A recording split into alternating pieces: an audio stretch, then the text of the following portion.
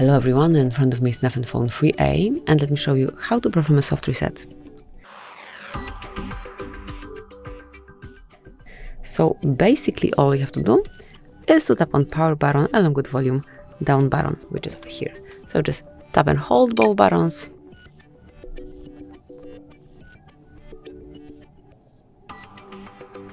Keep holding